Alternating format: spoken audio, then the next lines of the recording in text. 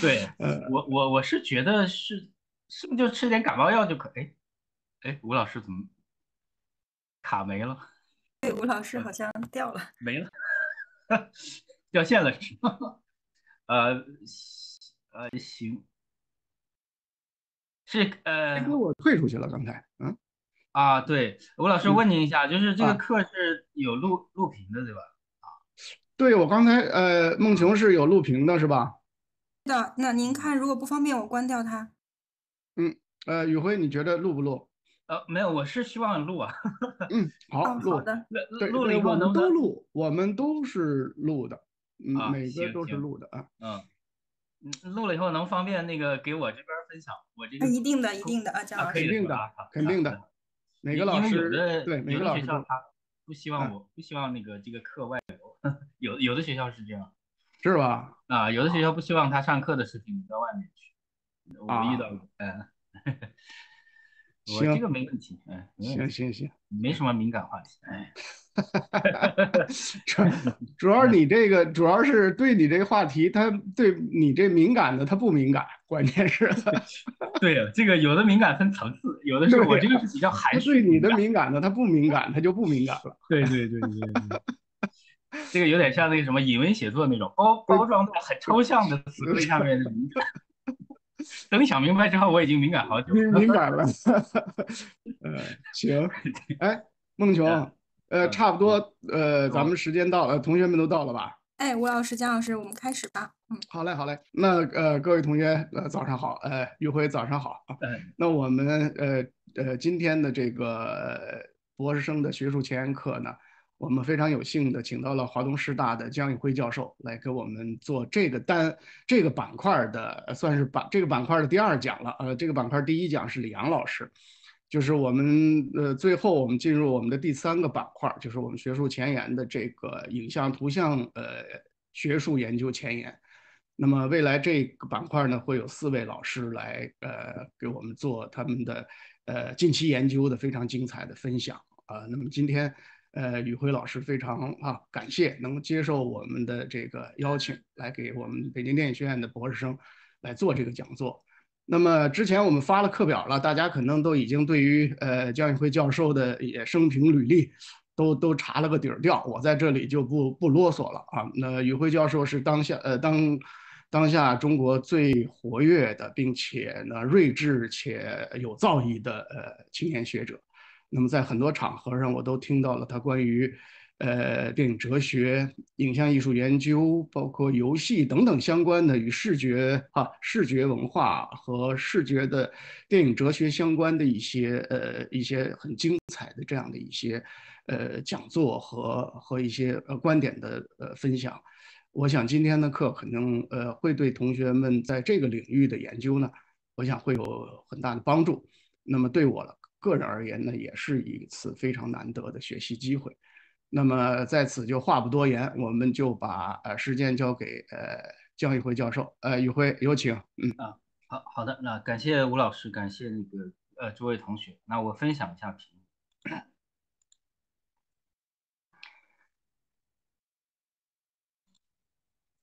好啊，呃，刚才吴老师已经介绍了，这个是有有一点这个不敢当啊。那，我最近跟吴老师开了很多会啊，但基本上都是在线上面，然后，呃，也是，呃，对当代这个电影，尤其中国电影研究的一些前沿的话题有一些了解。所以呢，吴老师来找我讲这个主题，其实我是有一些忐忑不安的，因为我毕竟，呃，只是一个哲学的学者，那我只是从电影学的这个周边啊或者外围提一点不恰当的一些观点。所以大家如果觉得感兴趣啊，就听一听；如果觉得没意思的，或者说跟你的研究没有什么相关性的，那就听听玩玩就好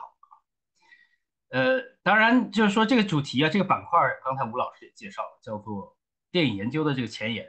但这个我是不确定的，因为我研究这几个主题，包括我今天要讲到的，像后电影、后人类跟后媒介，我觉得是比较前沿啊。但是毕竟我不是在电影学这个专业里面。呃，可能跟大家理解的前沿有一些呃有一些差距，可能大家更喜欢谈一谈电影史啊，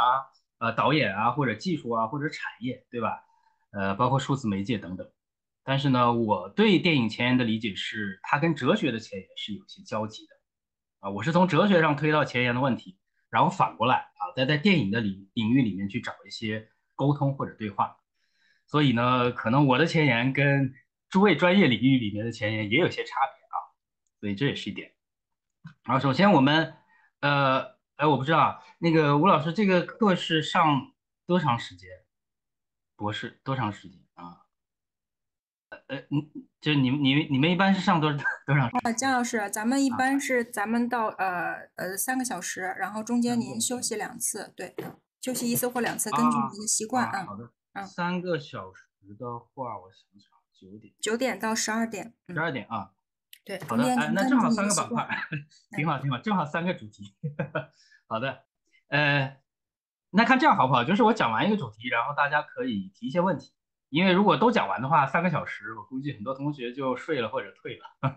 好吧？呃，我就先讲完，哎，一个主题后电影，比如说大家看看有什么问题，呃，然后我们一起来谈谈一谈啊，或者讨论一下。好，那我就先从今天的第一个主题后电影开始。啊，不对，应该是从后人类开始，因为后人类是一个哲学的题，然后我们再谈一谈后人类视角之下的后电影，然后再谈后媒介。好，开篇呢还是先讲一下我为什么要对电影感兴趣，因为呢有很多的这个也有哲学的学者呢，他喜欢谈电影，但是呢有有的人呢他只是觉得在这个文本里面涉及到哲学的啊，涉及到电影的背景，然后他就是跨出去去去谈一下的，他没有什么直接的兴趣。我看过很多人去谈那个电影，从理论角度，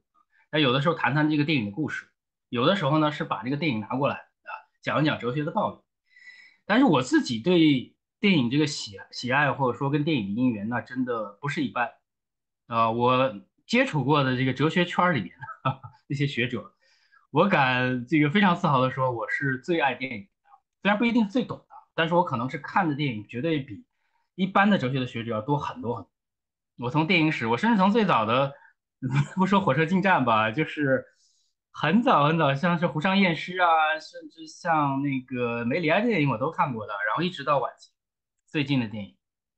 像诺兰什么，基本上都看过。但这几年因为学术比较忙，所以可能片儿看的就比较少，再加上又有疫情啊，也很少去电影院，所以可能跟电影的这个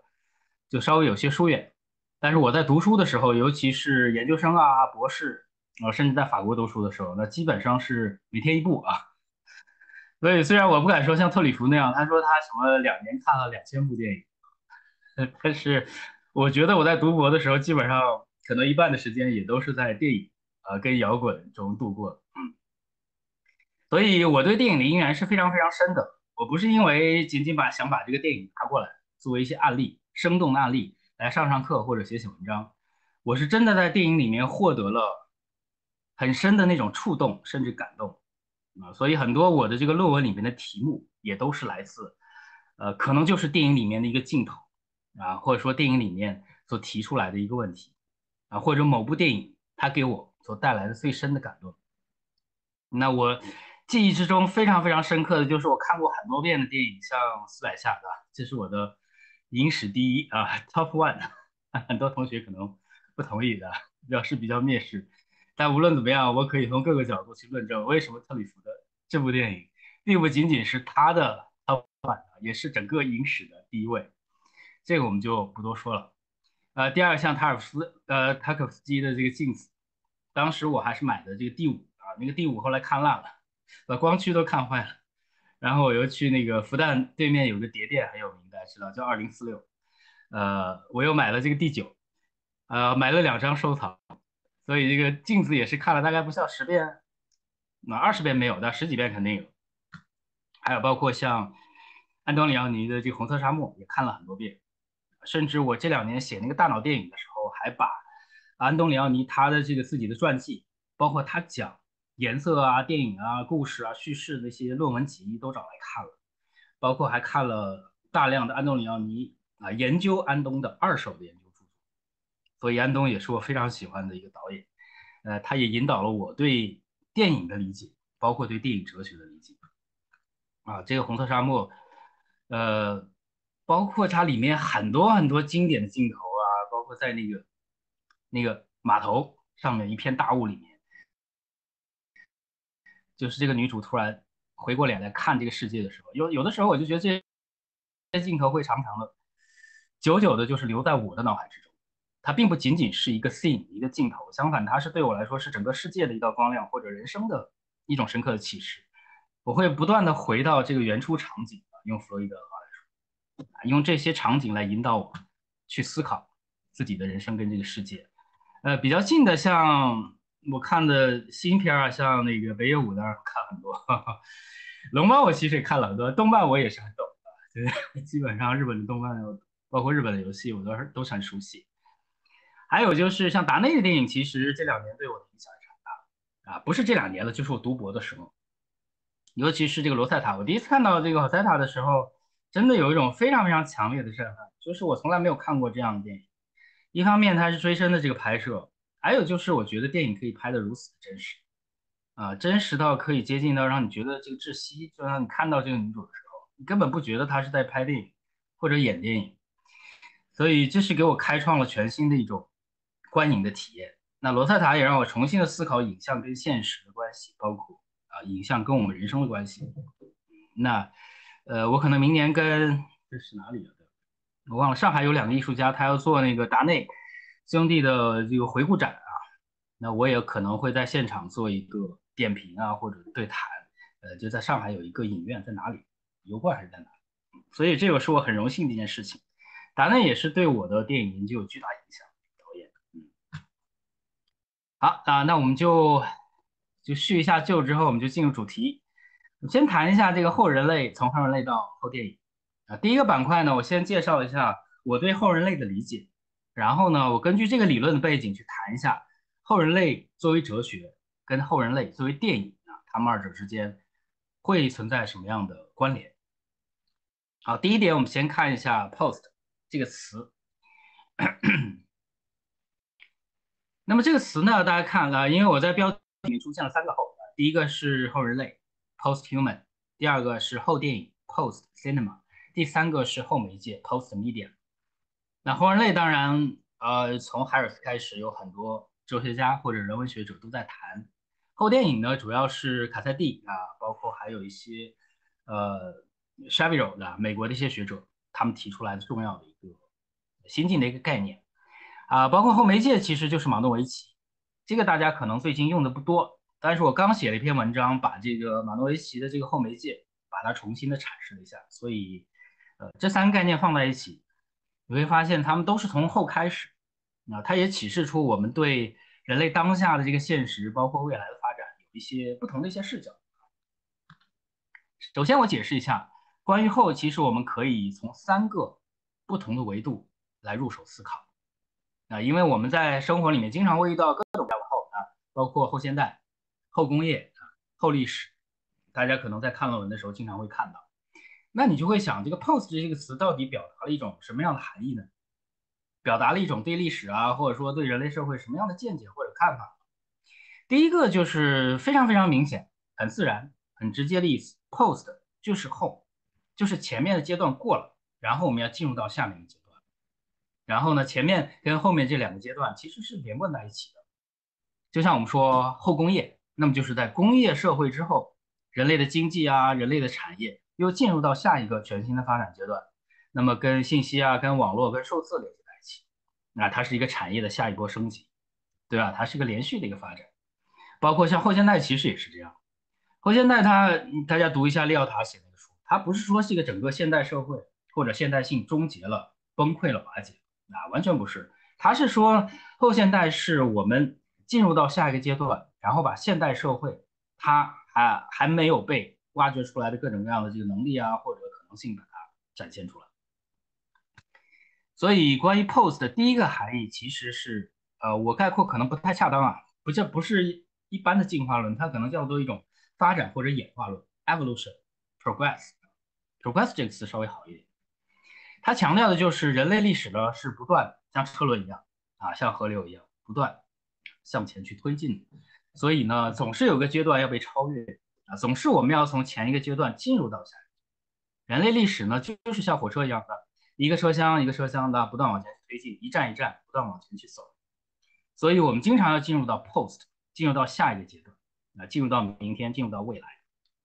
所以，当我们如果从这个角度来看后人类啊、后电影或者后媒介的时候，其实没什么担心的，因为当我们用这些词的时候，我们只是说，哎，人类进入到下一个发展阶段，对？之前的人类是工业社会啊，然后呢，是以这个主要是以文字啊，或者说以符号啊，以这个抽象概念的思考为主导。但是进入到后人类之后呢，可能是以信息、以技术，那可能是以更不同的媒介的平台。展开思考的方式，包括当我们谈到后电影也是这样啊。如果我们从进化论、发展论的角度来看，那后电影其实并不是电影的终结，也不是电影的死亡，它只是电影进入到下一个阶段，从胶片到数字，对吧？从电影院到屏幕，然后呢，从以往的那些呃相对专业的这个，比如说工作室啊，或者说制片厂，然后到今天，它跟游戏啊，跟其他各种各样的产业有一种融合 （convergence）。但这没有什么可怕的，对吧？电影不断在发展，那电影史上大家谈到电影这个死亡也是一次又一次，但是电影从来没有死。所以随着 pose 的这个节奏，电影还将进入下一波全新的发展阶段。那后媒介也是这样，对，人类的媒介就是一波就一一波一波的。之前我们是用羊皮纸，用竹简，然后是用这个白纸 paper，然后今天我们是用屏幕，未来可能都不用屏幕了啊，用全息影像。沉浸式的元宇宙的，对吧？所以这也是一种进化呀。所以从第一个角度来说，这个 post 根本没有什么伤心啊，或者断裂啊、痛苦、死亡啊，它就是一个人类的电影也好啊，媒介也好，它不断往前发展的运动。但第二种含义就不太一样啊，它强调的并不单纯的是一种连续，它强调的是呢，我们不能只看着未来，我们也不能不能只说人类历史就是像一列火车一样。轰隆隆的啊，一股脑的向着未来去冲过去。相反，真正的历史是不断回复的，不断循环的。当我们去展望未来的时候，首先我们要回到过去，去想一想过去还有哪些东西我们被遗忘、被压抑了、被遮蔽了、被排斥。我们通过这种回到过去的运动啊，这就 circular circle 循环的往复的运动，我们试图把过去之中的那些强大的。尚未被激发出来的潜能，把它重新的释放出来。所以，关于 POST 的第二个视角，我在阿尔塞斯的意思上把意义上把它叫做考古学 （archaeology），而不是单纯的是迷古啊或者复古。相反，是要通过这个过去，重新的去激发人类面对未来的创造性的潜能。啊，这是第二点。第三点呢，是比较倾向我这两年啊，也不只是这两年，就是我一直以来。可能对 POST 的一种理解，我认为 POST 既不是连续，也不是循环往复，相反，真正的 POST 就是一种断裂，就是过去的死亡跟未来的新生，就是在过去跟未来之间其实是隔了一个 gap，隔了一道深深的裂痕或者伤痕。那过去跟未来之间不是连续的，也不是说当我们回到过去就能找到向着未来前行的勇气跟动力。相反，我更强调的是。当我们进入到这个 post 时期的时候，其实我们是夹在过去跟未来之间，左右彷徨，左右为难。啊，当我们向过去看的时候，我们看到的是一片啊疮痍，或者说一片这个废墟；当我们遥望这个未来的时候，我们又看到的是一片啊未知莫测的陌生的前景。所以，人类当他站在这个当下的时候，其实他是彷徨的，他是迷茫。就像大家很熟悉的，我举过很多次啊，黑泽明。大岛这个电影乱，最后一个镜头，那个盲人的乐师，他拿这个啊那个触摸这个手棒，他不断在这房上，呃，已经快倾塌这个房屋上面去走，然后他马上要走到这个啊房屋的这个边缘，马上要掉下去，然后就就在他要马上掉到这个边缘下面之前，啊，他停了下来，他战战兢兢停了下来，他想一想自己是不是还要迈过去，所以我谈到的否定性也是这样一个含义，那它不是连续的发展。啊，也不是循环往复，相反，我更强调的是，在过去跟未来之间的这种断裂、否定，由此给人类，呃，在处于这个阶段的人类带来的剧烈的创伤跟苦痛。当然，这些词呢，也不是单纯是我自己的一厢情愿啊，自己瞎发明的。相反，否定性呢，是来自像列维纳斯啊、创伤啊、苦痛啊这些东西，都是来自，呃，对，巴丢也是我很重要的一个参考的人物。但是呢，我还写我写了一篇文章啊，不知道这个同学有没有听过？我之前在川大讲过一次，我就对比这个德勒斯跟巴丢。那巴丢是讲否定的，德勒斯是讲肯定，affirmation 跟 negation。但是呢，我觉得巴丢我为什么谈不多啊？就是因为他搞了一堆数学的东西，这我本身数学也不好的，我一直学的是文科。我要数学好的话，可能现在就不不搞哲学了。但是呢，我觉得巴丢谈的一些关于否定性啊、关于断裂的东西啊，还是很重要。包括大家都知道，在巴丢的哲学里面，最重要的一个核心概念就是 void，就是空啊。那这也是我很喜欢的一个概念。所以，我我只是把它的概念借用过来，然后阐释一下我对后人类后人类的理解。好，接下来我们看，我们回到这个后人类它的思想发展的过程之中。然后我们回顾一下上面的三个不同的流派，或者说三个不同的方向。第一个呢是发展论，第二个是考古学，第三个是断裂论、否定论。这三个呢都能够在不同的理论的文本里面找到坚实的依据。所以我引用一下，因为咱们上课嘛要有根据，不能信口开河。那么关于发展论啊，或者说这个进化论，其实最典型的论论据啊、论证就是来自海瑟琳·海尔斯他的这本。经典著作啊，How We Became Posthuman，呃，这也是整个后人类主义的奠基之作。那我们直接跳到这本书的最后一页、最后一段，甚至最后四行，你仔细品味一下他在这里说的这个意思。他说，尽管一些流行的说法认为后人类是反人类的和毁灭性的，啊，比如说我可能自己就是这样去认为，我更强调的是后人类是一个毁灭的一个阶段，是一个末世，是一个终结。是一个人类必须要用巨大的勇气去迈过去的一个坎儿，一个深渊，啊，不一定反人类的，但是肯定是毁灭性的。所以海尔斯那个时代其实已经很多人啊对后人类抱一种否定性的或者断裂性的看法。但是呢，海尔斯老师马上啊笔锋一转，后面说，但是我们可以精心勾勒另一幅有助于人类啊和其他生命的长期生存的图景。所以他的意思就是说，我们不用那么悲观。对啊，这个科技啊，可能技术会给人类带来巨大的冲击，但是我们可以迈过去。就人类历史已经经历了几千年甚至几万年的时间啊，我们经历了各种各样的灾难，各种各样的困难，但是我们都过来了。有什么要紧？人类历史并没有中断，人类也并没有终结。我们说末世也已经说了很多次了，在人类历史上一次又一次的末世，从黑死病啊到这个千禧年，对吧？所以凯尔斯就是这个意思啊。虽然我们看到后人类的时候。有很多人会觉得，哎，我们是不是进入到一个新的一个末世，面临了一个旧人类的死亡和新未来的起点？但是海尔斯提醒我们，哎，我们可以把后人类当成是一个人类面向未来的长期的延续的生存发展的途径。所以海尔斯是进化论或者发展论非常非常乐观的一个坚持者，包括最后一句话是很有诗意的。但是我读到最后一句话的时候，其实我也有深刻的。触动跟感动，我觉得这是一种胸怀，对吧？虽然我可能对后人类啊，对海尔斯这套今天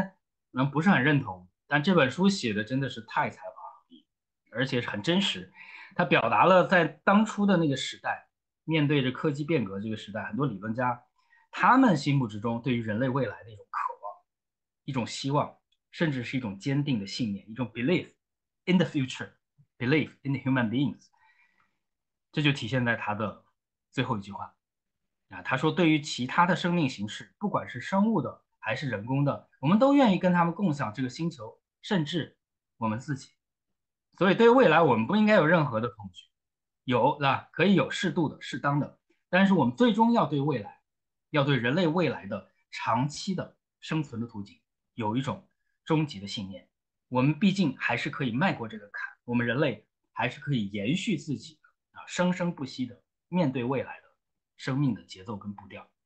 所以无论未来的这个生命形式，你脑子上面插了多少管子，你的生命里面有多少机器的这个改造啊，变成什么生化人、赛博格，无论这样的发生有多么的剧烈，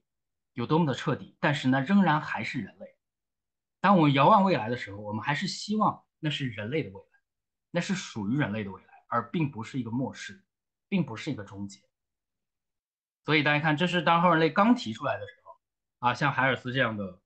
代表性的思想家，他是有非常强烈的乐观的希望跟信心的。然后大家可以仔细看一下他在这里给出的图表，这个图表对我影响非常大。呃，但可能这两年用这个图表用的比较少啊。但是大家可能熟悉我一开始的这个文章，我在我什么展望电影啊，或者说当代呃电影艺术那几篇文章，我基本上都是根据这个图表来写的。所以海尔斯这本书对于我的，不是说所有的哲学啊，就是对于我的电影哲学的研究来说，绝对是奠基性。我今天还是时不时翻开他这个书，啊，每次翻都会有新的这个洞见或者启示。所以啊，在这里也是表达一下啊，我对海尔斯老师的深刻的敬意。然后，他一个，包括塞尔埃尔塞瑟一个，这两个是对我的电影研哲学的研究有巨大影响的前辈跟导师。好，我们看一下海尔斯这个图啊，大家可能都熟悉啊，都看过这个图。那你会发现，它首先上面两级，那一个是物质性，一个是信息。那为什么这两集要对峙呢？那就是因为物质性跟信息它是。彼此分离的啊，两个相互对立的极点，物质性趋向于极致的时候，就表明我们的人类还是生活在现实的世界之中。那我们还是有真实的肉体，我们还是要过肉体的生活。我们是一个 flesh，我们是一个 body。但是信息恰恰是对物质性的最强烈的一种否定。你可以想想，当整个世界都变成信息的时候，那就证明什么？那就证明这个世界的物质性已经不重要了。信息啊，信息就是可以脱离。它的物质载体自由流动的各种各样的数据，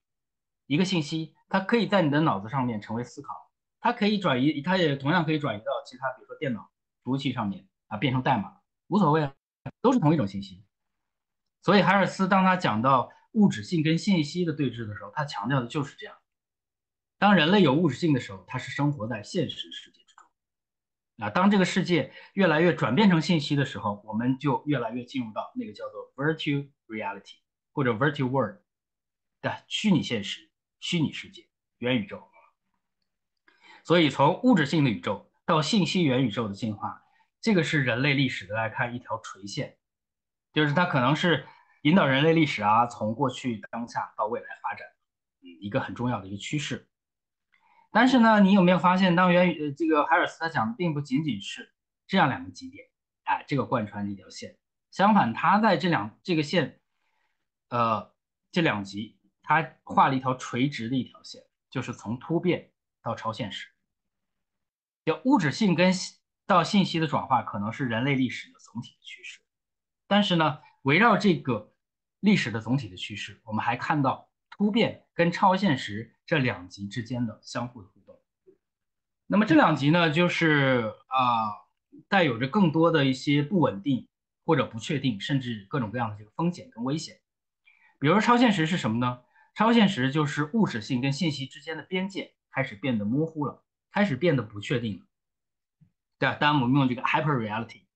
大家可能都熟悉鲍德里亚的，鲍德里亚是讲那个超现实的。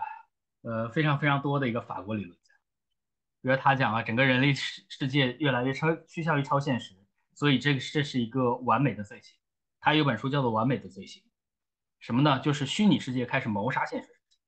我们开始分不清虚拟跟现实之间的边界到底是在哪里。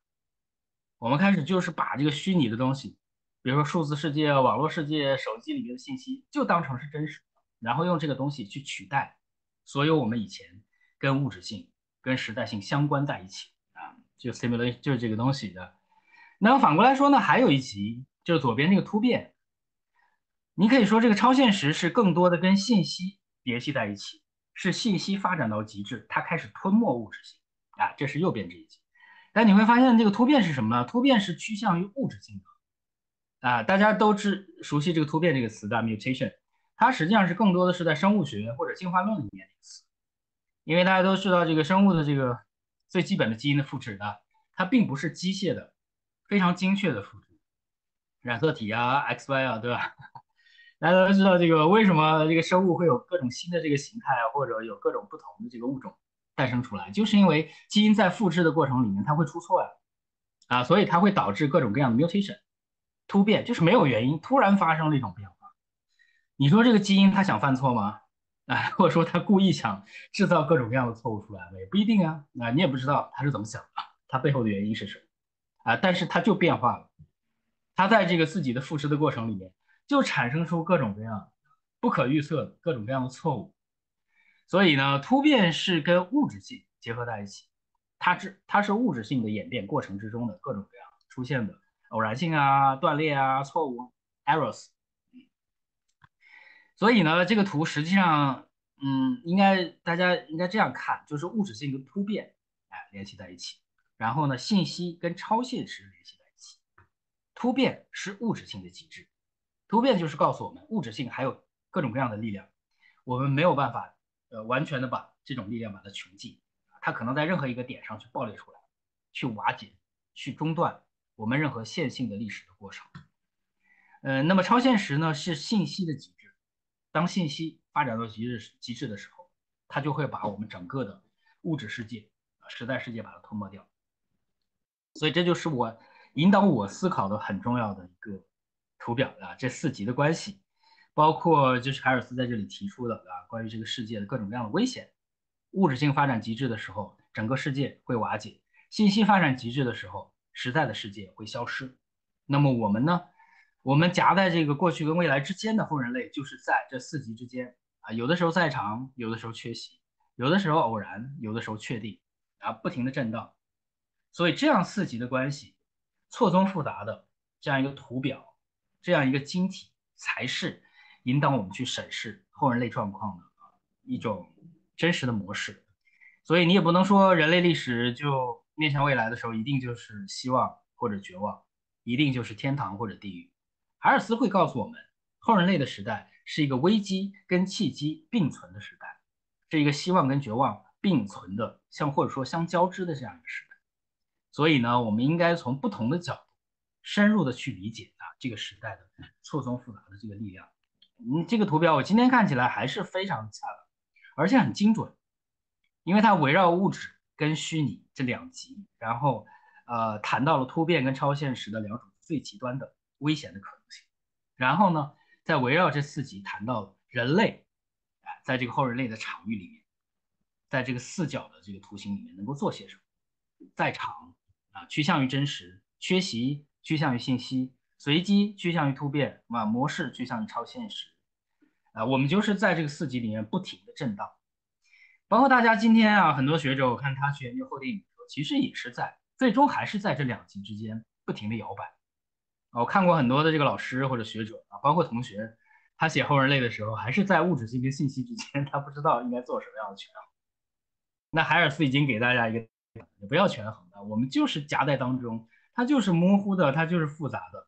它就是需要需要我们在这个漩涡之中，啊，在这个错综复杂的力量之之间去进行一种，呃，充满希望的，但是也充满危险选择跟抉择。你没有办法面对未来给出一个终极的一个答案。好，刚才我们谈到的是第一点，所谓的进化论，就是面对未来还是要有希望。虽然在这个希望的过程之中呢，我们也要面对各种各样的风险啊，迈过各种各样的障碍。但是呢，最终人类的这个未来还是光明的，还是美好的，人类的历史还将非常顺利的进入到下面一个全新的发展阶段。但是呢，反过来，如果我们看媒介考古学啊，这是埃尔塞瑟，著名的荷兰的电影史家、电影哲学家，也就是我再次赞美一下，就是埃尔塞瑟是我看过的最懂哲学的。之前有人嘲弄我说啊。说说他是他说我是哲学圈里面最懂电影的，电影圈里面最懂哲学的啊。但是我觉得阿尔塞特人家真的是既懂电影又懂哲学，那比我强多了。所以这本书也是给我的研究带来巨大的影响。大家看这本书的标题就叫做《Film History as Media Archaeology》，就是电影史它作为媒介考古学。然后呢，大家仔细看一下它的副标题《Tracking Digital Cinema》。就是我要重新的去追踪一下，重新的去描述一下数字电影它的发展轨迹到底是什么。首先呢，就很多人会觉得数字电影是一种极端的断裂，好像当数字这个东西进入到电影史啊，成为电影的一种基本的创作或者制作的手段的时候，它标志着电影的又一次全新的死亡。所以阿尔塞特这本书呢，它一开始是从这种极端断裂的视角来入手。他会说，数字转向一开始呢是作为一种 radical break，极端断裂，就是从胶片到数字啊，从赛璐璐，然后到这个信息或者说到代码，呃，这个是是整个电影史的一个终极的断裂。之前是一段历史，之后呢是未知的未来。那么当下的电影为什么叫做 post cinema？它好像就是夹在这个过去跟未来之间啊，有点这个左右彷徨，有点这个无从无所适从的那种感觉，既焦虑但是又充满希望，既对数字的未来充满憧憬，但是又很怀念过去胶片那种温暖和它那个深度，甚至包括它那种触觉那种体验。所以当数字电影刚诞生的时候，很多人都会有这样的恐惧啊，是不是数字电影就是洪水猛兽？啊，是不是当我们今天所有的电影转向数字产业之后，转向数字平台之后，这就标志着我们以往关于电影的所有一些美好的想法，一切本质性的特征都土崩瓦解，都面临终结。数字是不是就是一个深深的一个 gap 啊，一个深深的一个裂痕，它打断了之前所有电影史的发展，然后进入到了一个呃我们自己也说不清楚，我们自己也把握不明白不明白的未来的发展的方向。所以这是埃尔塞瑟一开始所提出的，好像大家都会有的。当数字电影刚出来的时候啊，大家都会有的焦虑跟彷徨。但是呢，埃尔塞瑟接下来他给出了，他从媒介考古学的这个视角出发，他给出了一个反思啊，甚至说也可以说给我给出了一个全新的一个解释。就是历史的发展呢，它并不是单纯的像一个火车啊，或者说一条河流，不断的往前去推，不断的往前去冲，啊，就好像是一条线的。从起点到终点当中没有任何的停顿，也没有任何的回复。相反，他会认为真正历史啊，呃，它不是单方向的，它也不是单维度的，甚至也不是单层次。就像大家可可以直接想想考古学这个词。当你想到考古学的时候，你首先脑子里面出现的形象是什么呢？就是挖掘。那么为什么要挖掘呢？就是我们要在我们看起来啊，我们踩的非常坚实的这个大地之下，哎，我们又挖出新的一层。当我们挖出新的一层的时候，历史就变化，对吧？比如说你在你站的这个房间下面，你挖出来一个唐代的一个陶罐对吧，然后你突然发现，哎，那就全新改变了我们对历史啊、线索、时间分布的一种认识。然后过两年呢，你在这个唐代这一层下面又挖出了一个更早的一个时代，或者说更晚的一个时代，啊，又再次改变了你对整个历史的这个看法。所以数字转向也是这样，数字转向不是说单纯的在线性这个历史上面，我们。弄出来一个缺口啊，或者斩断了一个啊一个裂痕。相反呢，数字这个转向只是标志，我们应该更深刻的去认识到，电影史它本身包含着各种各样的深度，各种各样的层次。电影史也不是单纯的从早期电影啊，然后到后面的这个，比如说新鲜主义啊、新浪潮，然后再到后面啊到好莱坞到数字，不是单纯的一个阶段到下一个阶段，再到下一个阶段，不是的，电影史它也是。各种各样不同的力量，各种各样不同的层次交织在一起，相互叠织在一起。我们在一个时期的电影里面会发现不同的其他的各种各样的时期，可能错综复杂力量都交织在一起。所以这个就是艾尔塞特他提出这个电影史作为媒介考古学非常非常重要的一个视角，就是他要重新引入像复杂性、多重性啊，呃，可以，好的，我不知道啊，这个。那大家随便录吧啊，呃，对，复杂性、多重性啊，然后差异性，difference，这个，所以从这些角度重新的去审视电影史的发展，包括大家仔细看一下这个阿尔塞特下面的两句话，他说呢，数字电影既是一个零度的空间，它确实是没有根基的，因为它超掉了所有啊以往历史之中对于历史的各种各样呃对于电影的各种各样的理解，就是当数字电影诞生之后，我们发现。以往在胶片时代，所有我们所理解的电影啊，比如说电影是什么，电影应该拍什么，电影的精神是什么，电影的手法又是什么，电影最终来自哪里，回到哪里，对吧？在胶片的时代，当我们看着这个安东，看着老塔啊，看着奥祖，对吧？甚至看着 像史云梅耶，看着这些电影的时候，我们对电影会有一个全面的理解。我们认为电影就是这样，我们迷电影啊 c i n e p h i l 啊，我们爱电影，我们知道电影。呃，它最基本的表达的是人文精神啊，它运用的是一种再现啊，或者说是一种表现。但是当数字电影出现之后，它瓦解的是所有，大家注意是所有一切我们过去关于电影的理解，从数字电影开始，都开始被抹去了，都开始被抽去了，都开始被消除了。所以埃尔塞特在这里用了一个词叫做去根基的 （ungrounded），就是数字电影真的就像是一个从天空之上降下的这个力量，突然之间打入人类历史，让你完全方寸大乱，让你完全不知道未来在哪里，因为整个的过去都已经被抽离了，整个的电影史都需要被重写。所以这是一开始呢，大家对数字电影的一个印象，它是 ungrounded，把它抽掉了，我们对电影的所有的根本的 ground 的各种各样的理解。但同时呢，阿尔萨斯又提醒我们啊，我们不需要由此就很悲观，也不要认为这个数字电影就是一个从零开始，完全从零开始的过程。正相反，它既是去根基的，但之所以我们要抽掉关雎，那是为了重新进行再一次的回返，再次回到电影史之中去挖掘那些在电影史的经典的版本里面没有写进去、忘记写进去，甚至拒绝写进去的各种各样的方面。你以为电影史就是你看到那些方面吗？完全不是。当数字电影出现的时候，它反而刺激你去反过去去看，去重新去看奥祖，重新去看安东，去重新去看老派，让你用用一种全新的这个视角去审视你以前已经看过无数次的电影。你突然又发现，啊，在跟数字电影的比较过程之中，你又重新的认识到这些电影里面还包含着的各种各样的能力，各种各样的力量，各种各样的。还没有被释放跟创造出来的潜能，这就是一种考古学的挖掘啊！啊，你以为你站在这个脚下的大地就是一块大地，就是一块泥巴吗？没有啊！你再挖下去，你会发现下面有石头，在下面有陶罐，陶罐下面是水，水下面是火，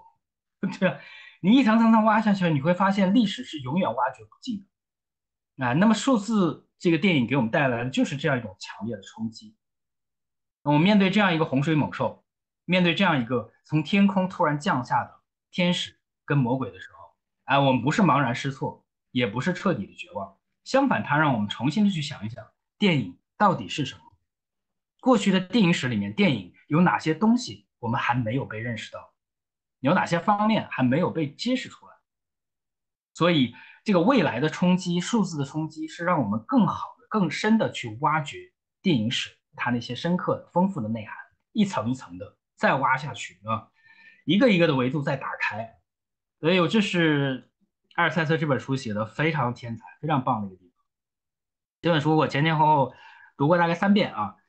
呃，还是有很多地方非常值得我去玩味。当然，具体的细节大家肯定都比我懂了啊，我在这里就不重复，我只是讲一下它的道理。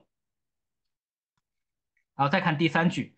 所以真正的媒介考古学并不是说迷古啊，也不是说倚老卖老。说 今天有很多人是这样说，数字电影是什么东西啊？那个东西不行的，拍的很烂，根本没有什么传统电影的精神或者意味，所以他们会觉得啊，还是旧的电影好啊，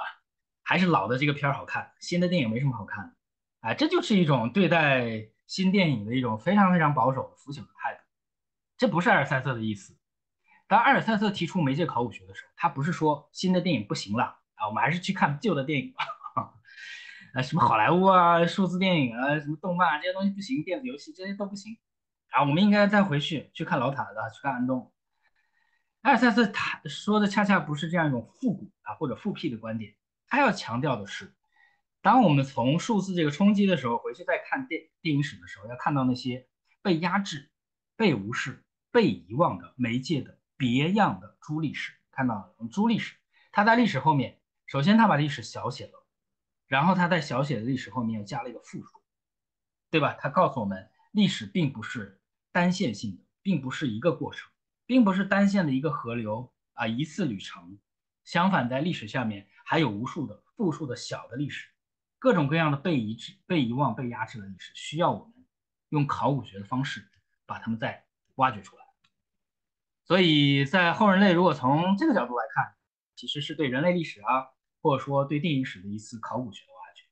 啊，它不是单纯的进化，但是它也不是单纯的断裂，对吧？不是单纯的 ungrounded，相反，它是一个 return，return to the origin，回回到电影的真正的起点，一次次的想一想，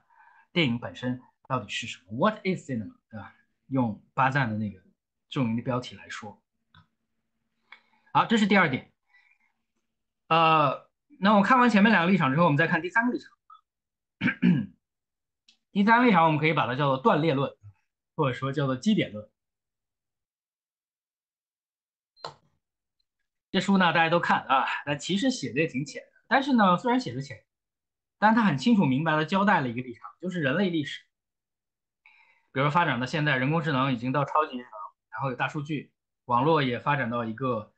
二点零啊或者三点零，已经到元宇宙了啊，全景式、沉浸式、体验式网络。所以呢，库兹韦尔老先生就说，当人类再发展几十年的时候，它就不是线性的进化。注意，它不是线性的进化，它是一个几何的进化。什么叫做几何的进化呢？线性的进化是什么？一个自然数的序列，一、二、三、四、五，啊，它是有秩序的，而且是连续的，一步一步往前推的。但什么叫做几何的进化呢？就是那个幂啊，就是乘方，二的平方，二二的三次方，二的四次方，二的五次方，对吧？它是一个爆裂出去的，它不是在一个线性的这个秩序上面一点一点往前推，相反是说你这个进化或者发展到了一个点上，它马上就像断崖一样。一下子向上或者一下子向下，它马上中断了你这条线性过程，它打断了，它破坏了，然后全然的、突然的引向了一个全新的一个方向。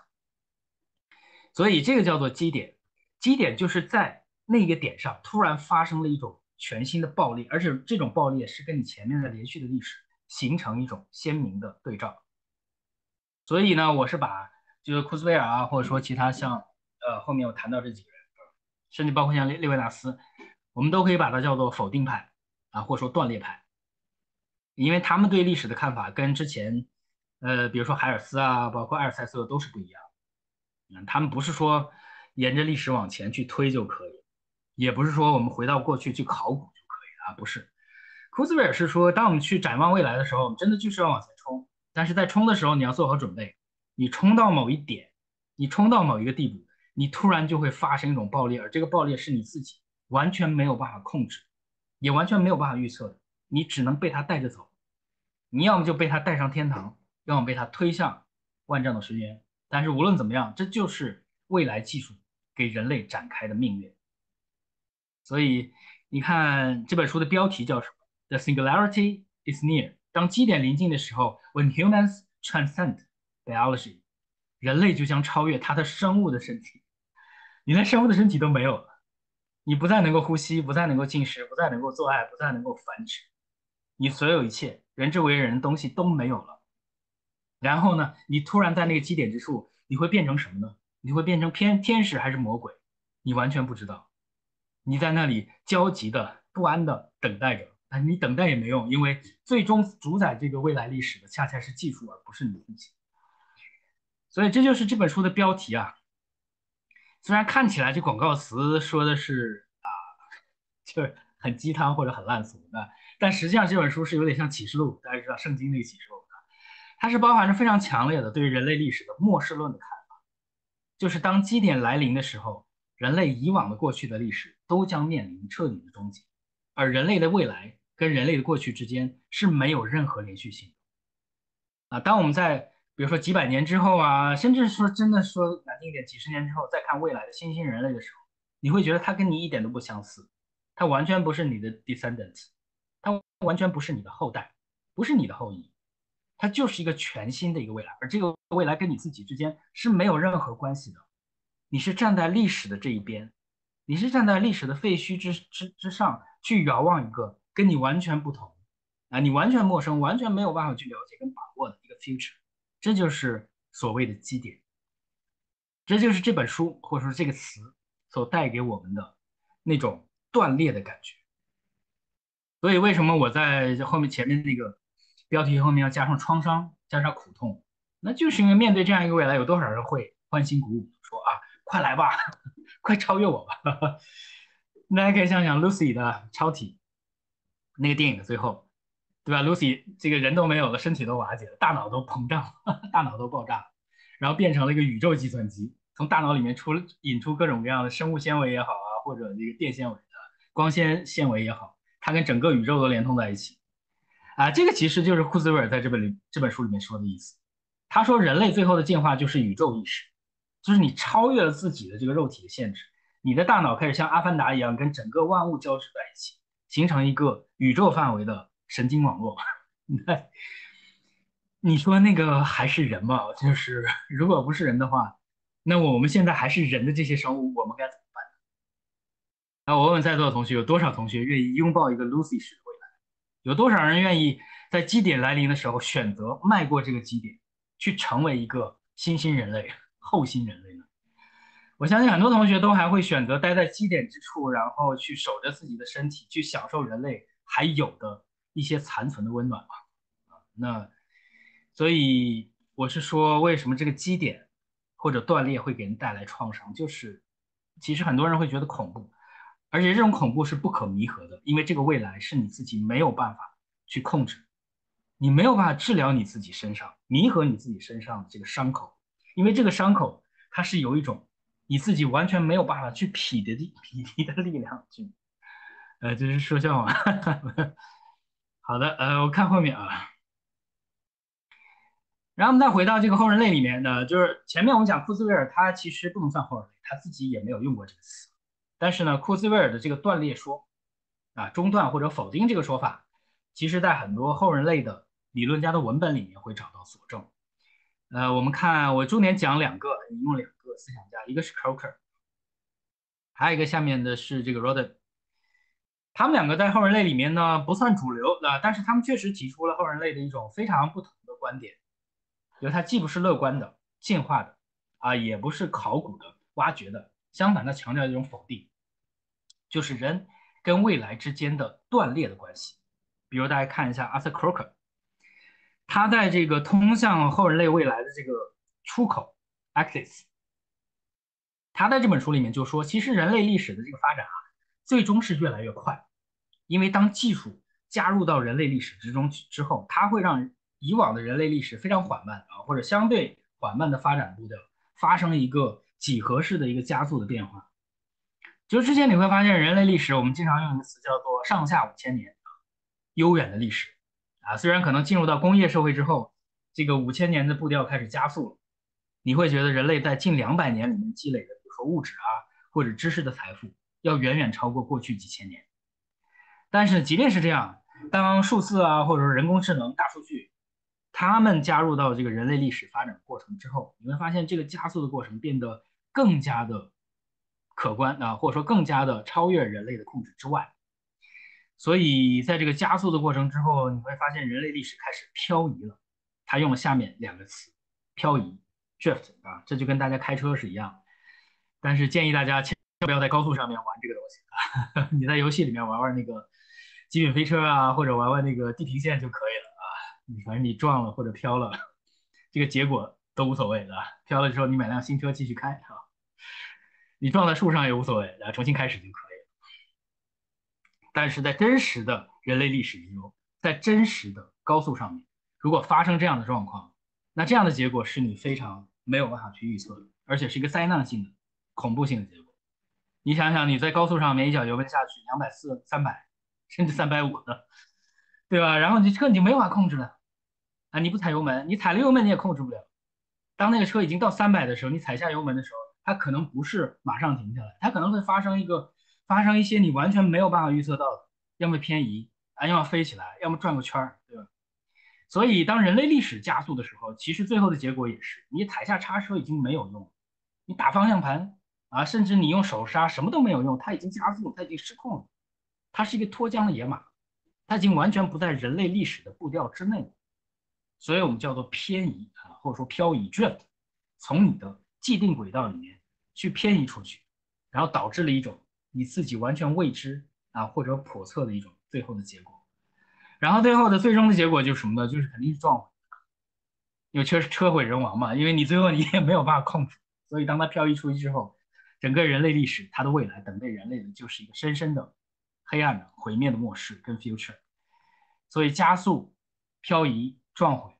啊，这个大家可以在高速上面想象出来的一幕惨剧，其实正在或者真实在人类历史之中，在每个人的身上也在这样发生着，也在这样降临着。所以如果是这样的话，那么我们对后人类可能要用另外一种不同的眼光来审视，它既不是线性的进化。啊，也不是对过去的挖掘，相反呢，它在技术加速的力量那种加持也好，或者挟持也好，它最后的结果是非常恐怖的，或者说它最终只有一个结果，那就是 annihilation 的，就是毁灭，就是湮灭，就是 apocalypse，就是末世。所以后面很多的像，呃，跟 Erodin 跟 Arthur Clarke 比较接近的后人类学者啊，他们都是持这种极端的，我们叫做末世论的立场。甚至你看一下海尔斯啊，呃，不，那个谁，哈拉维的，他在《Steam is Trouble》那本书里面，他用了这样一个词，叫做 Apocalypse Now，啊，当下即末世。当然，哈拉维他总体来说他是一个乐观主义啊，包括他提出的这个克苏鲁记，其实是在幻想一个啊万物共生的生命的美好的未来。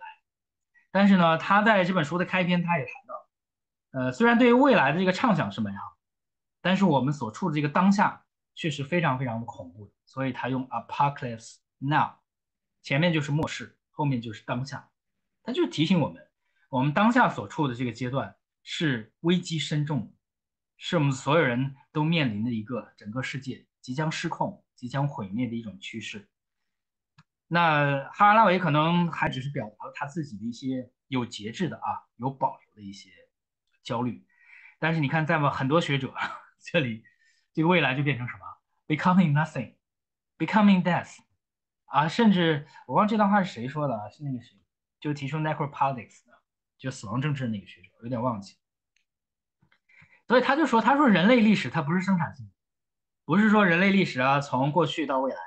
从前面一个阶段到下面一个阶段，是不断产生出新的形态，是生生不息，是绵绵不已，是创造不已，不是这个。他说人类历史是什么？就像是人类从从出生到死亡，你从出生的第一次呃第一第一声这个啼啼哭开始，你就开始走向死亡的坟呃坟墓的。”所以，整个人类历史实际上是不断走向死亡、走向毁灭的一个单向的一个过程。所以，它是坏死性的，不是生产性的。你不是变得越来越强大，你也不是变得越来越丰富。相反，随着你的年年龄的增长，随着你的岁月的这个延续，你是一步一步的在走向最终的死亡跟灭绝的深渊。从人类的个体来说是这样，从整个人类历史来说也是这样。所以，人类的未来其实根本谈不上美好。也不是乌托邦的前景，人类如果有一种未来的话，那只有一个前景，就是终极的死亡跟灭绝。所以在这里他用了 necrotic，它是坏死性的，就是当我们在这样一个时代，呃，好像不是 c o b r o 呃，我回去查一下啊，我有那篇文章，你可以查一下那我那篇文章就是在新美术啊，就如何凝视动物，我在那里面谈到了这个观点，不是不是，嗯 c o b r o 啊，对对对，我用了。啊，对这个同学谈的非常好的，已经看来是真的看资料。哎，对，这科布鲁克后来也有这个观点，但科尔布克他科尔布布莱克他谈的实际上比这个 becoming death 要更为深刻，就是后面这个。啊，哎，没了吗？After extinction 对，不是这个。好，我们先看这个。科库鲁比也有本书，他后面写的就是 posthuman death 后人类之死。哎，对，这个同学谈的非常对啊。他也是把这个死亡或者末世当成是后人类非常重要、必须要去直面的一个根本的主题，所以这个死亡啊就变成了纠缠着后人类一个挥之不去的阴影。然后后面我们竟然看到了一个叔本华式的后人类的奇迹，因为大大家都知道，叔本华当他写那个世界作为表象跟意志的时候，他全书的最后一个关键词是哪嘛哪的，是涅槃，他就告诉我们整个世界是没有希望的。整个世界背后就是被一个盲目的黑暗的意志推着，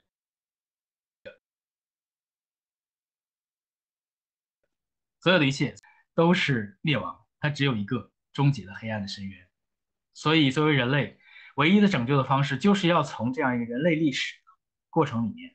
去斩断它的这个线性的进程，去瞬间的去超越出去，就像涅槃一样，当下去斩断你生命的过程，去实现一种垂直的审美式的啊。哲学式的洞见，去认识这一切都是毫无意义的的。所以后人类的后人类学者他们讲到这里的时候，实际上是充满着一种叔本华式的对整个世界的悲观。技术给人类带来的就是这样一个否定的、黑暗的、毁灭式的未来。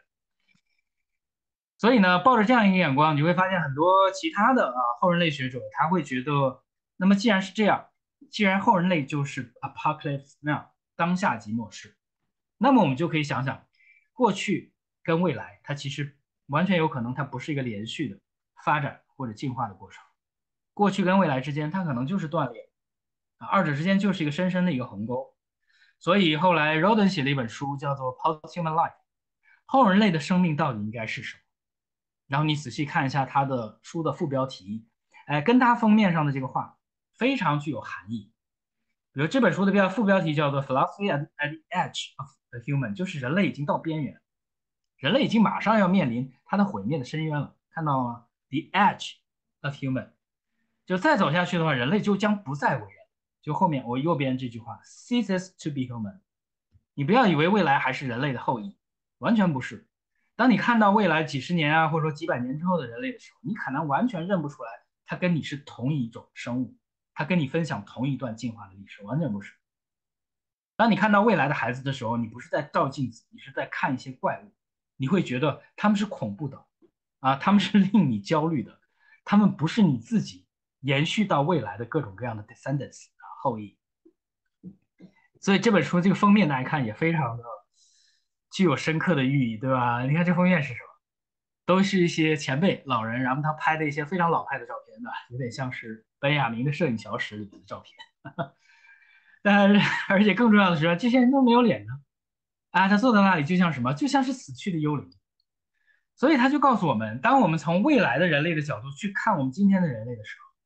当未来几百年之后的孩子看我们今天我们这些人的时候，就像是看那些死去的幽灵，就像是就像是残存的珊瑚礁的这个躯体，就像是看啊那些。已经化为灰烬的人类历史，各种各样的 ruins，各种各样的残迹。所以过去跟未来之间根本不是连续的，它就是断裂的。经过这个技术的变革，大家注意，它用的是 alteration，大家英文都熟悉，对吧？在英文里面，当你用 alteration 这个词的时候，它强调的是什么？是一种极端的变化，它不是单单纯的 change，它也不是单纯的 transformation。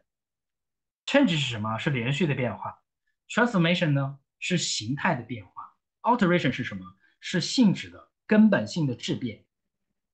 所以 Rod 用这个词就是提醒我们，人类在后人类的这个阶段，它完全可能进入到下一个全新的阶段，它不是 post，它是 non。他用下面这个词，就是 non-human，就是跟人类根本完完全没有任何的关系，它是人类的否定，它不是你的延续，不是你的后裔，不是你的镜像，不是你的发展，它是你的断裂，它是你的否定，它是你的超越。他站在你的面前，要么是天使，要么是魔鬼，但是唯一一件事，他是你不能理解的未来的生物，未来的存在，你不能理解，不能预测，也不能掌控，甚至无法跟他沟通。就像是大家非常喜欢那个电影《降临》，对吧？你面临未来的时候，就像是那个女科学家面对那个九字头，他说的那个图形你能认得出来，但他说的是什么呢？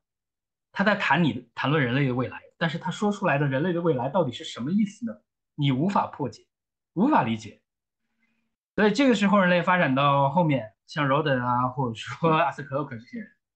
啊，他们所提出的一个叫做从后人类到非人类的一个转向，从 posthuman 到 non-human 的一个转向。那么由此就哎可以提一下刚才这个王云同学啊，他提出的这个非常重要的 Cobrook。Cobrook 后来在呃 posthuman death 后人类之死这个文集里面。它开篇的第一篇文章的一个标题就叫做 extinction，就叫做大灭绝。但这个灭绝并不仅仅是在物种意义上的灭绝啊，相反，他提到的是人类啊作为一种整体的历史，作为一种整体的生存的形态，它面临的自己的一种 edge，已经推到了自己的极限跟边缘。所以后来像格鲁辛啊这些人，他们是真正的就彻底从后人类已经转向非人类了。所以他们把自己的这个书的标题就叫做。The non-human turn，就我们现在在谈后人类啊，已经不够彻底啊，已经不够极端了。我们干脆就做的这个叫什么，毅然决然一点啊，绝情一点，不要再留恋什么后人类了。那里面好像还有一些对过去的一些温存啊、怀旧啊、记忆啊，不要的，我们直接跳到非人类，就整个这个世界历史的未来、宇宙的未来，跟人类是全然没有任何的关系。我们在前面就应该用一个彻底的否定的前缀。Non-human，所以发展到这个阶段，你会发现后人类其实已经走不下去了，因为他自己的所有那些，呃，他自己比较熟悉啊、比较坚持的理论立场，在非非人类这个趋势面前，已经完全都土崩瓦解了。好，然后你如果觉得后人类这帮思想家不够深刻，的，那我再引一个深刻思想家来进行一个佐证，那就是我们自己非常喜欢的列维纳斯。那列维纳斯他也谈到未来，当他谈到未来的时候，他没有任何的希望，没有任何的信心，啊，他既没有没有认为这个未来是一种呃连续的发展，同样也没有在考古学的意义上说未来是来自过去的潜能，没有，他说的恰恰就跟 Colebrook、跟古鲁辛啊，甚至跟 Arthur Crook、跟那个 David Roden 是非常非常相似的。他说未来是什么？未来就像是彼岸的死亡一样，它让人带来的就是那种未知。就是他异，而且是一种绝对的他异性，绝对的他异性，就是我们根本没有办法去理解那个未来到底是什么，我们认不出，我们辨不明，我们也无法理解，我们也没有办法预测，但是它就撞过来，它就在那里，而且它以加速的速度，速度不断的向我们当下去撞击过来。那么，当你面对这样一个彼岸的死亡，这样一个他者的未知之物，这样一个绝对的他异性的时候，你如果在在你身上如果有一种真实的体验，那么肯定是什么呢？绝对不会是快乐，不会是希望，不会是信仰，那只能是创伤、痛苦跟极端的绝望。所以，我们看到，呃，后人类为什么后来会到非人类？为什么后人类原来非常充满希望的一些立场，在非人类那里会产生出一些绝望的一些情绪？那就是因为到最后，当 no human 这个东西出来之后，其实。在他们的思想背后，就这种列维纳斯的否定性的这种回应是非常非常强烈的。所以这也是我读了列维纳斯之后，其实他对我的影响也是非常大。我就想一想，那么后人类可能也可以从另外一种完全不同的，比如说否定性啊、断裂性啊、啊苦痛啊或者创伤这个角度来诠释。哎，这就是我讲的后人类电影的，我开始研究后人类电影的一个鲜明的一个导线。所以呢，可能我这几篇文章写的比较久啊，可能是我想张望这张望电影这篇是什么时候写的？可能是三年前还是四年前的，一六年吧，还是一八年？我忘记了，是发在那个小薇的电影星座上面。对啊，我非常感谢小薇，这是我写的第一篇我自己非常满意的论文啊，也是我至今我觉得我写的最好的一篇论文，虽然很多人不这样认为。但是我自己非常非常喜欢这篇，这篇我写了大概三四万字，然后小薇也非常的慷慨，慷慨的赐予我版面，然后发了上下两期，把这篇文章都发出来。我自己，包括我自己自己在这篇文章里面谈到疯狂这个概念，我也是很喜欢。包括他谈到的四部女性主义的电影，也是我自己反反复复看过很多遍，像《降临》、像《极寒之城》的，包括像《赛龙》，也是我非常喜欢女神级的演员。所以我就是从下面这几个。不同的关键词来引入我对后人类电影的一种思考，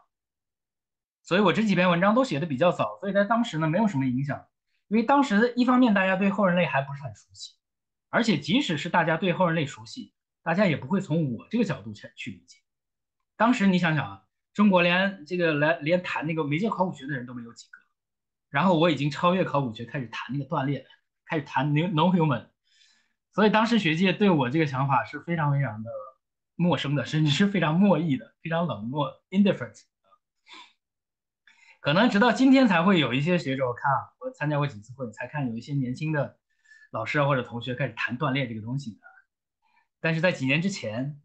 大家刚刚开始接触后人类、后人类哲学啊、后人类电影的时候，可能真的没有几个人会认同我的这一番非常狂、疯狂、非常瞻望的论述啊，确实是这样。那我就结合我的这几篇文章谈一谈，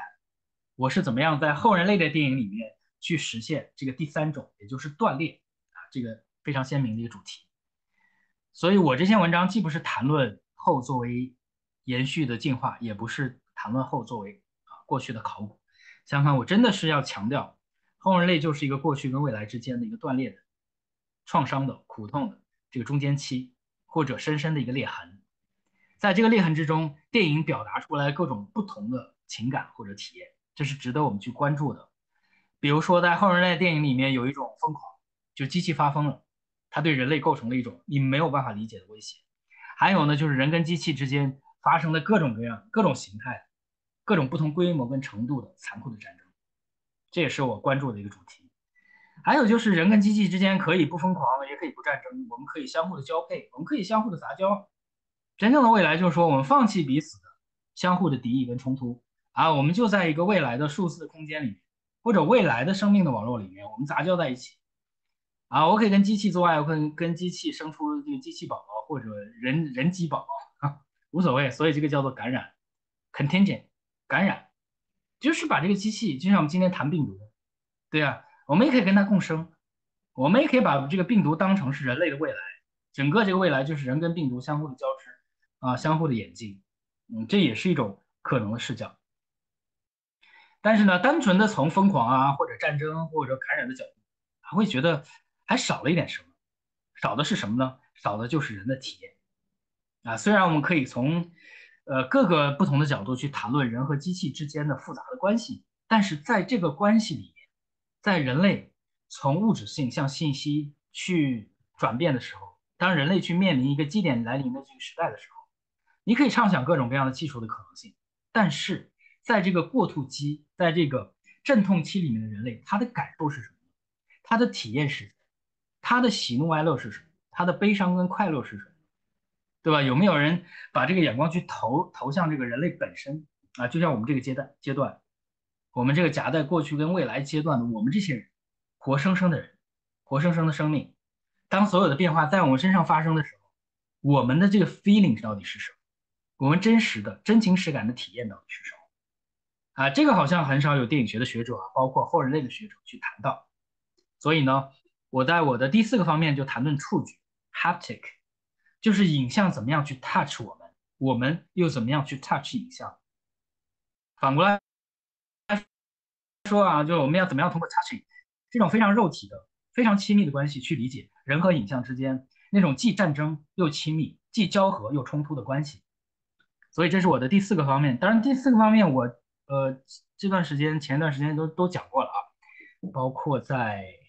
在浙传那个会上啊，我也讲了这篇文章，所以我今天就不多讲，就不重复过去的东西了。所以呢，我接下来重点谈一下前面的三个主题，就机器、疯狂的机器、人机的战争跟人机之间的这个杂交跟感染啊，这个三个主题好像我讲的也不多啊，所以今天正好利用这个机会，我总结一下，我一开始进入到电影研究或者说后人类电影研究的一些主要的关注啊，前面三个。那第四个我就不讲，我稍微提一下啊。我们先说第一个，疯狂。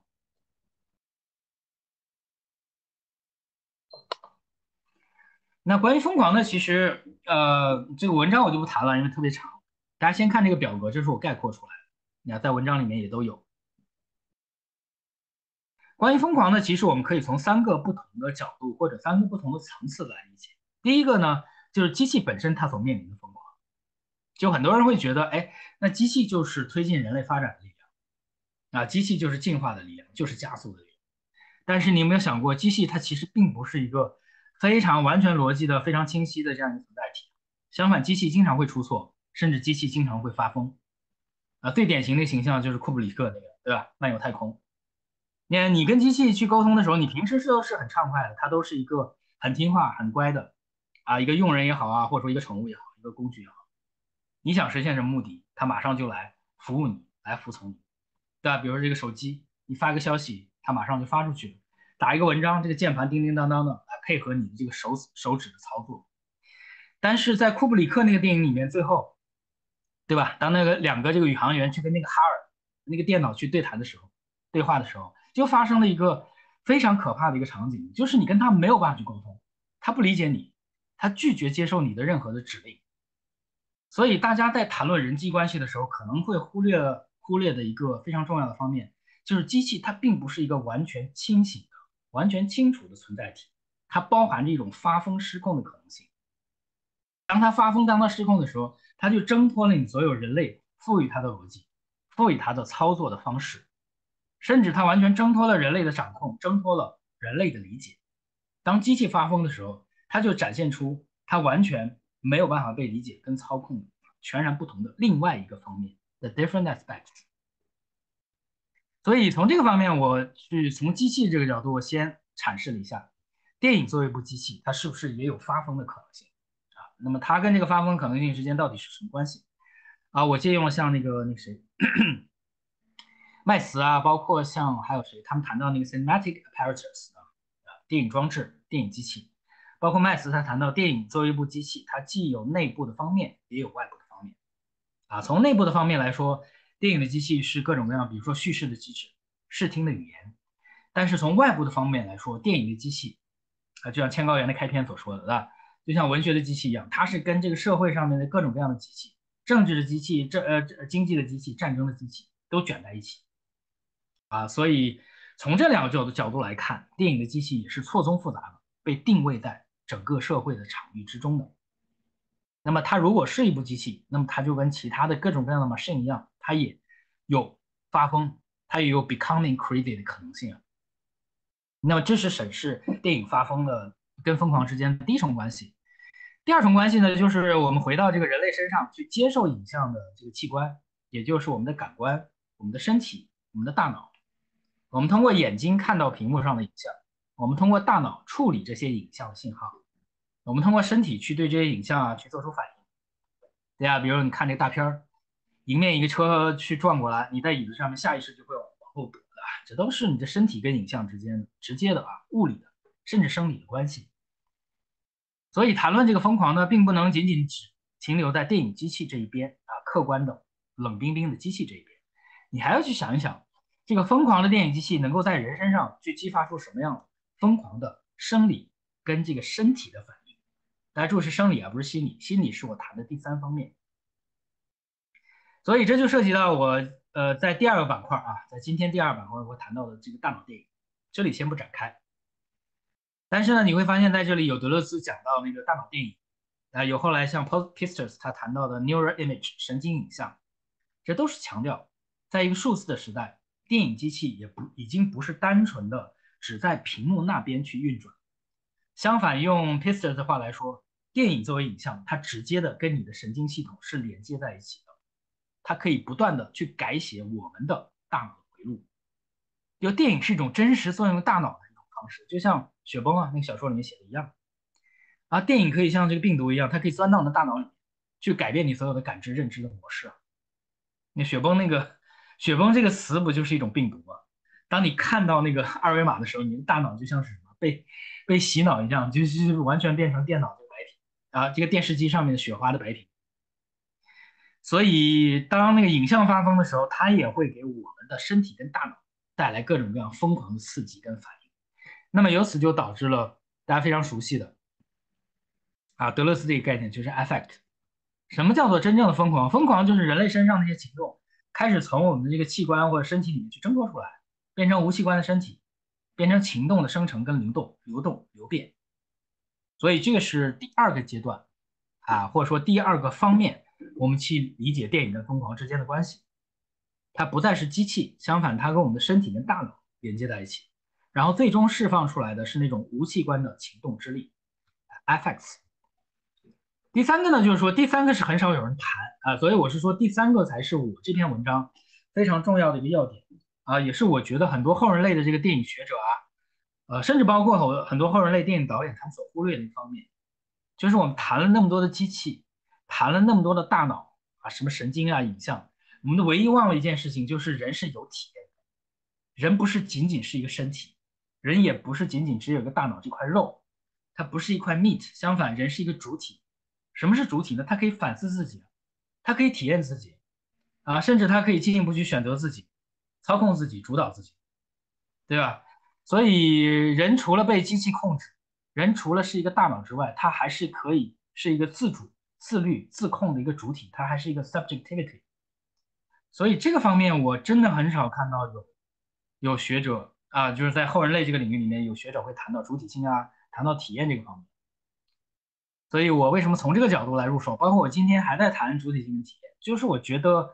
呃，后人类里面这是他的一个重要的盲点。绝大多数的后人类的学者，绝大多数的后人类的电影，都有点对这个体验这个方面有点忽略。所以后来在这个文章里面，啊，具体我就不展开了。我在这个文章里面谈到了一个当代法国哲学里面的一段公案，啊，也可以算是一个著名的段子，就是福柯跟德里达之间的这个争论。因为大家可能知道，福柯最有名的一本书就是《古典时代的疯狂史》。啊，对，也有主体退隐，或者用那个谁，嗯，南希的话来说，就是 after subject。南希他编了一本文集，他就梳理了一下当代法国哲学是怎么样一步一步的开始清理主体的，否定主体。呃呃，这个就不多说了，我写的太多了。呃，今天我们不是讲主体性，我们讲电影。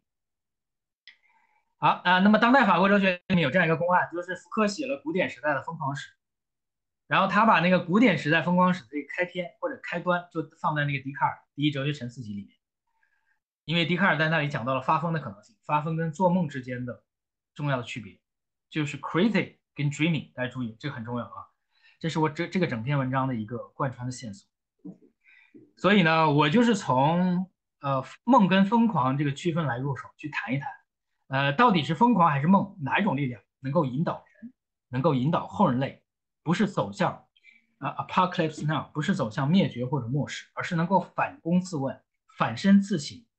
甚至自我体验、自我触摸啊，自我思考、自我选择，能够真正回到自身，作为一个独立、自主、自律的一个主体。啊，在一个万物皆流的时代，在一个一切信息化的时代，在一个大数据跟网络的时代，怎么样？你能在这个网络跟流动之中，能够找到或者保持自己的位置，能够像这个黑泽明乱的最后一个镜头一样，能够在你跌入万丈深渊之前，在悬崖的边缘能够悬崖勒马，能够去维持自己那一点点的清醒。所以，这是我在这里最终我是从疯狂，然后退回到梦，因为福柯。跟德里达恰恰就是代表这两极。德里达认为哲学应该有疯劲儿，哲学就应该冲出去，应该突破自己的边缘，去拥抱黑暗，去拥抱深渊，对吧？去拥抱那些你没有办法控制的力量，啊，拥抱外部，拥抱后人类，拥抱基点。但福柯就认为，哎，那不行啊，因为如果你 掉入深渊的时候，你人都死了，你人都失控的话，你还怎么思考啊？对吧？嗯，你拥抱基点也可以啊，但是基点的力量不是你自己控制的。啊，所以人身上真正人能控制的是什么？是你自己的思考啊，是你的 thinking。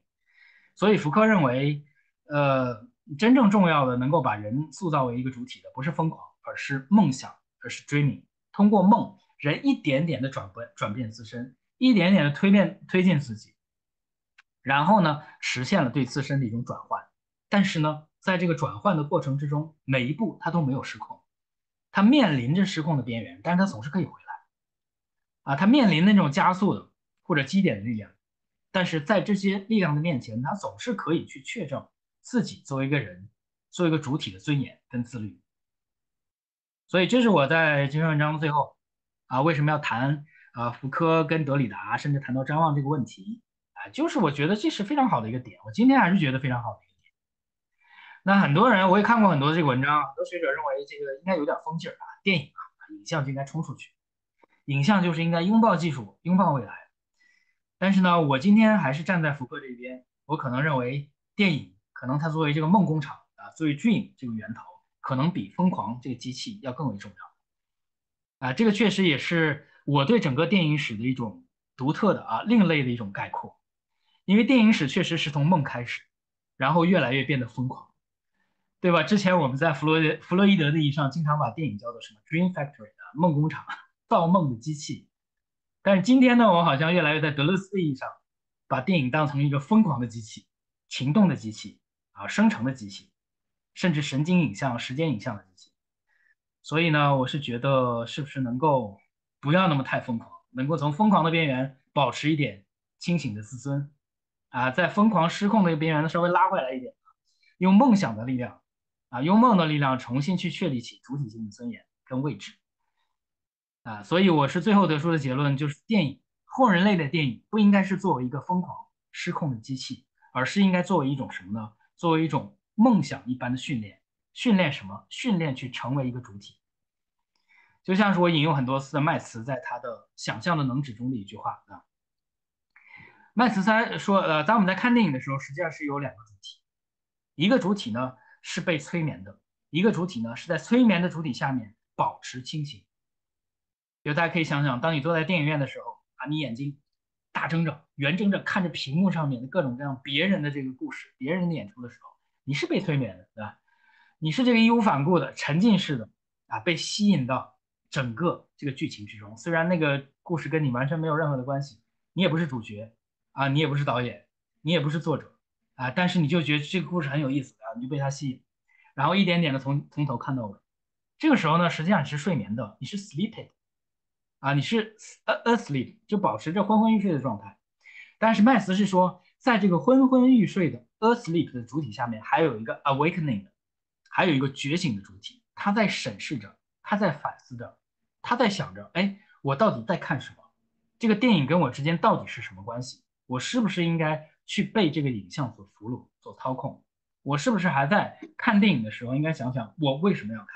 或者是我在看，而不是我在被看？所以这也是我为什么要用梦而不是用疯狂。在做梦的时候，人还是有可能醒过来的，但是在疯狂的过程里面，你还有可能最终控制自己。你都疯了，你怎么控制自己？对吧？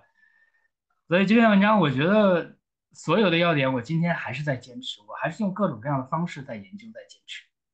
虽然这篇文章看的人很少的，我写那个元宇宙的文章已经几千下载了，我就觉得不可思议，不能理解。但是像这篇我自己很喜欢的文章，基本上没有人看，也没有人引用，也没有人过来问我。但恰恰这篇文章它里面所有的要点，都是我今天啊，包括后来一次一次的用各种的呃，在各种的文章用各种的主题来阐释。所以这是我梦开始的起点。呃。所以在啊，我稍微讲几个作品，然后我们就休息。那么呢，你不能光讲理论，对吧？这个也要谈一些具体作品，而且只有在具体的作品里面，你才能够去展现出，就是这个梦到底是一种怎么样的训练。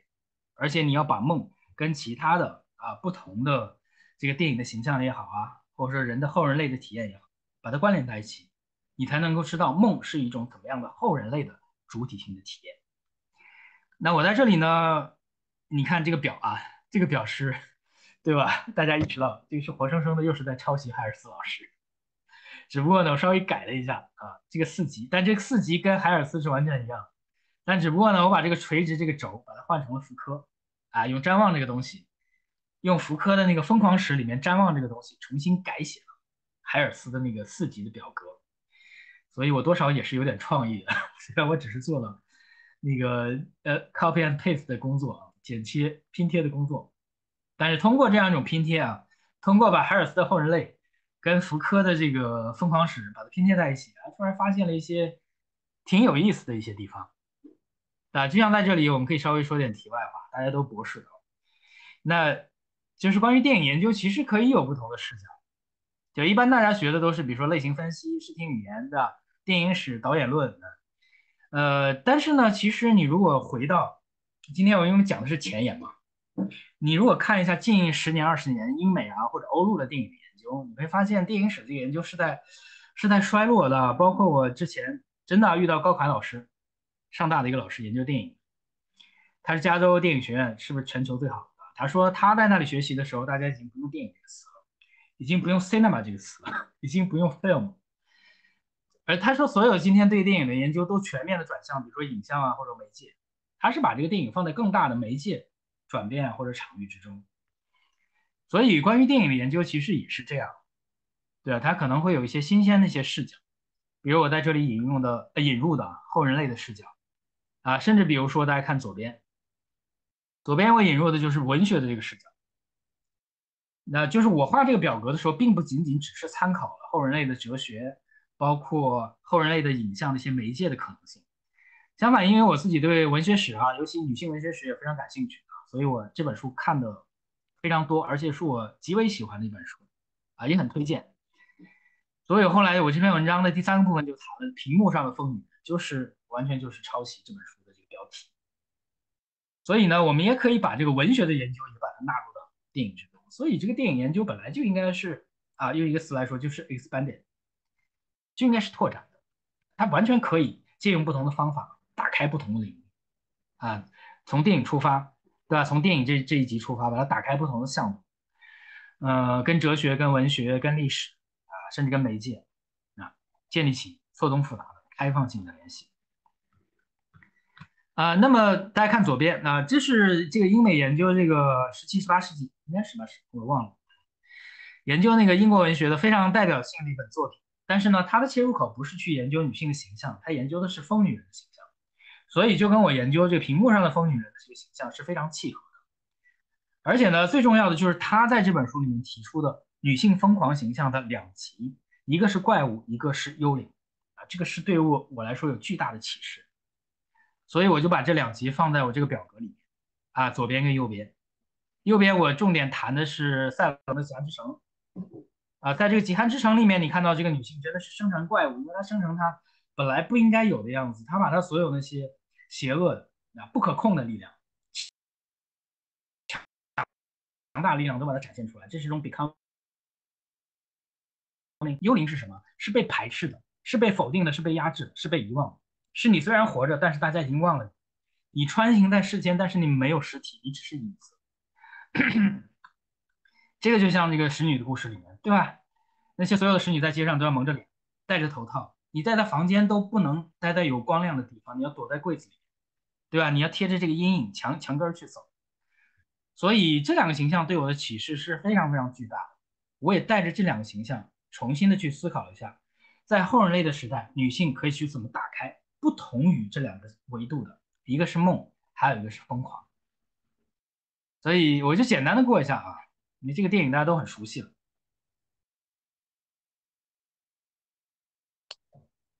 啊，比如说《极寒之城》，那我就不看不放那片了，大家回去看一下。我非常喜欢，看了好几遍。但不是大屏幕了，好像大屏幕是不是没有放过？我忘记。但小屏幕看看也很过瘾啊，尤其大大家看这个电影最触目惊心啊，或者最难忘的是哪个场景啊？是不是就是那个赛楼那个长镜头，就完全没有剪辑的，从头到从楼上打到这个楼下的，而且真的是赤身，不是赤身裸体，就是真的是赤手空拳，然后用真的是一拳一拳打过去，全招招见血，然后拳拳见肉那种，就他跟那些男性的啊。就非常魁梧，这特工真的是就拳脚相加去打，所以这个场景是让我认识认识到，他不是单纯的像我以往看那些间谍电影啊，或者女特工的电影，就女性在这个电影里面不是用诱惑啊，不是用她那些女性的特征去征服男男性，相反，它是展现出一种连男性都没有办法去驾驭、去掌控一些怪物暴力跟强力，尤其就是那那一节，大概从楼上打到楼下，我估计至少